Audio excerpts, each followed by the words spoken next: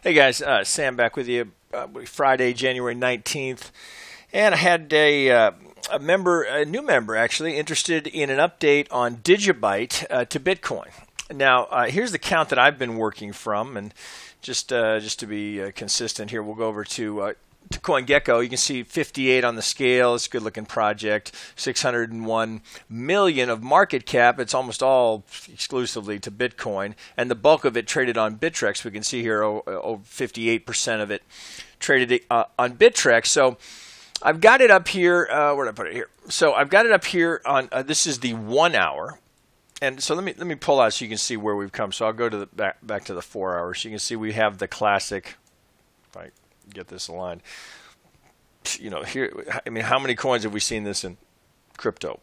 Almost all the alts. The big pump, the big drop, we all we come all the way back to where we started, and now, you know, are are we potentially uh, getting started in a new trend? It certainly has the potential for that. So if you, I, the reason I like to do this is so you get a sense of where we could be going. Right? So if we're if we're going to go back up and challenge these highs, we could. I've got this labeled here currently as a one wave, but this could just be a one of an even larger degree, right? So a lot of upside is my is my point. So if we put that in context, if this were to complete up here, we could have this, and now I got to go to to a very big so if I go up to primary, then you see it. So the possibility certainly is here that we're just putting in the one wave of the very largest degree before we go to you know to above and beyond these highs. You know, it's it's certainly possible. So all I've done here is wick off the absolute lowest low that I could get as we start this new trend, and uh, we've done this coin before, so there's a little bit of review here. But let me let me go back to the hourly so we can get a handle on where we are and the process I went through here to get this count. So it does appear to me that we have completed a five-wave structure, and now we, are in the correction of that. So it, it's very technical as it as it plays out.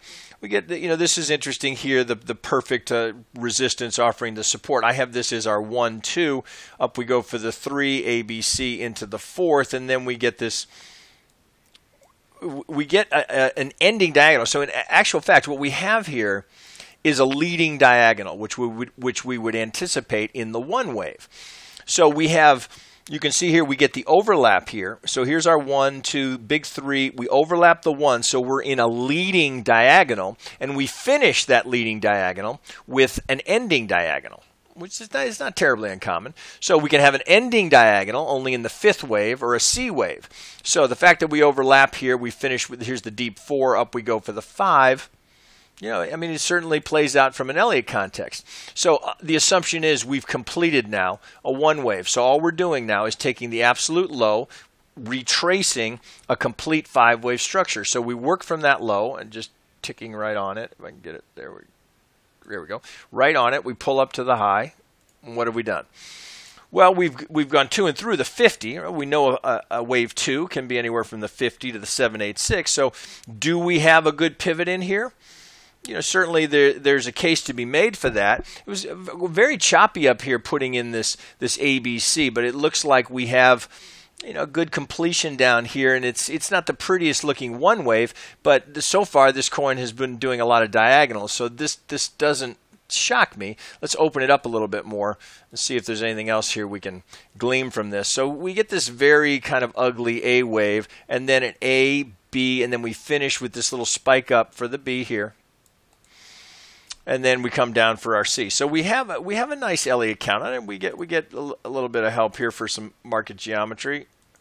So that's that caught my attention. So here we're we're hovering around the median line. If I've got that, I don't have it right on there. There we go.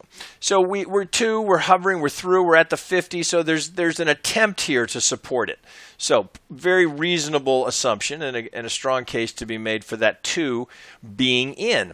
We can also just, again, looking for more confluence to confirm the pivot. So if I pull this over, you can see we went right into that box that we pay attention to between the 1618 and the 175. So that, you know, even though we, we spike through it, we, we then seem to hold. Now we've got this the median line potentially offering us support here as we start to move away for, from it. So with that, now, you know, we kind of have to dig in here a little bit a little bit more. Let me zoom in on this a bit more.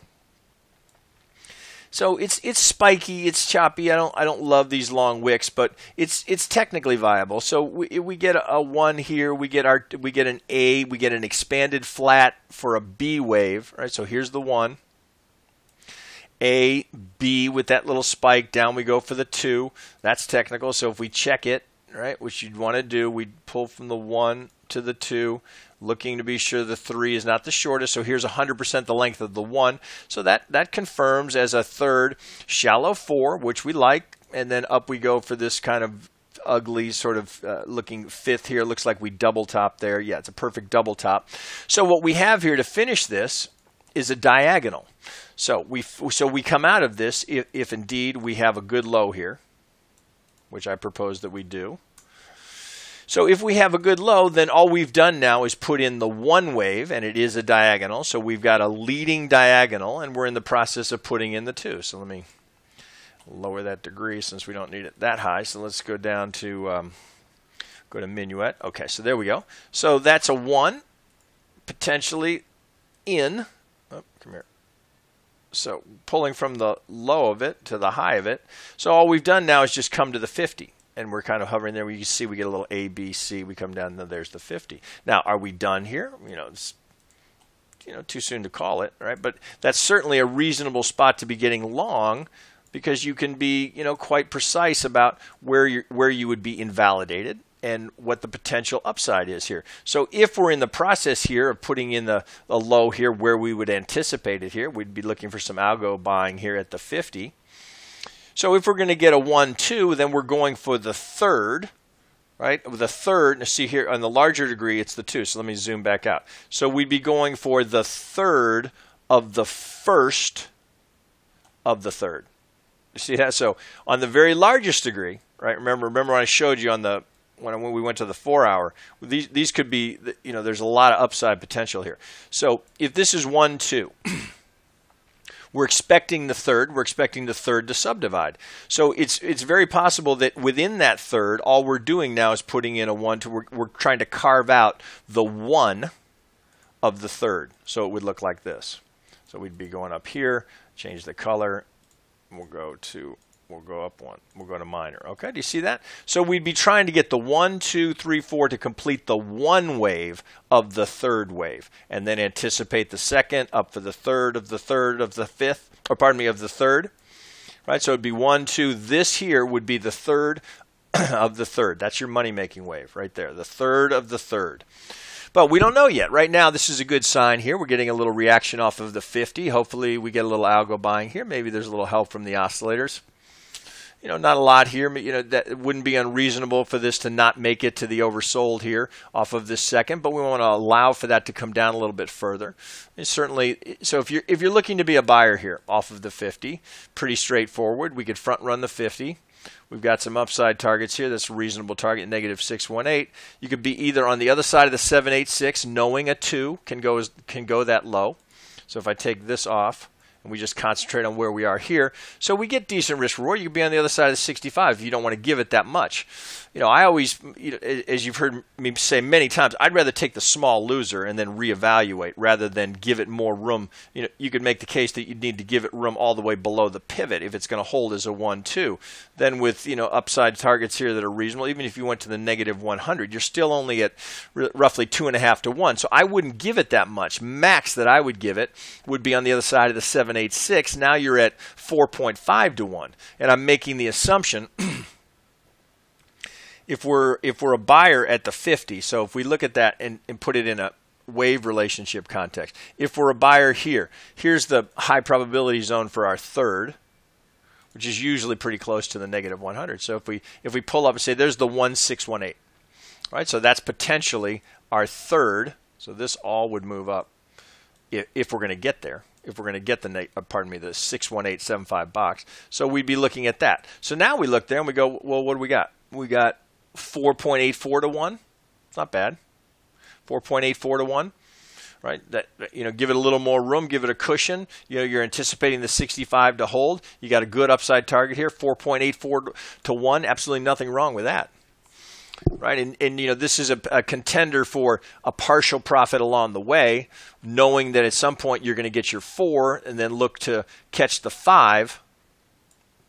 All right, and then all of this, I can take this off here. All of this supports higher prices if we're going to stay in, in this pattern. So all we have here is a potential roadmap. Certainly valid based on where we are in this structure.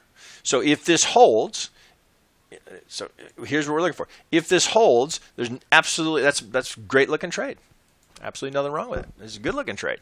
So we're right here. We've got the lower parallel, maybe for a little structural support. You'd want to see the 65 hold. Ideally, we don't we don't go down and challenge these lows, but understanding that that could be the possibility. We could have a, a more complex correction, but I wouldn't be anticipating it. So this is a reason you could be entering here right now as you look at this. You know, right, I don't know where it'll be by the time you look at it. Stop on the other side of the 65. So what's our risk reward? There's 6.2 to one.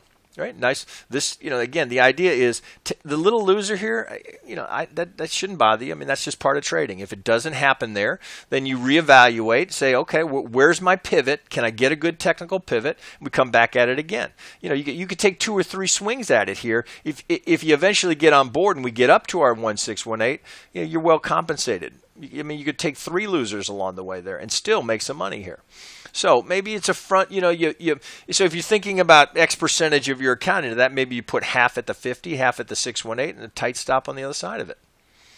Right? If you're a buyer at the 618, that's even better. I mean, of course, you risk not getting filled if you're just trying to sit with your entry at the 618 and you're tight on the stop. The, the, target doesn't change, right? Of course, the target doesn't change. Now you've got 6.7 to 1 with a stop on the other side of the 78 or 78.6. So you can tighten that up a little bit. There's 6.89 to 1. So maybe the first bite here is at the 50 with an with you see save a little in reserve for the 618 stops on the other side. So you average down your your entry price, your total entry stops here, up you go. If you get stopped out, you reevaluate. Right? It's as simple as that. Okay, guys, I'll wrap it there.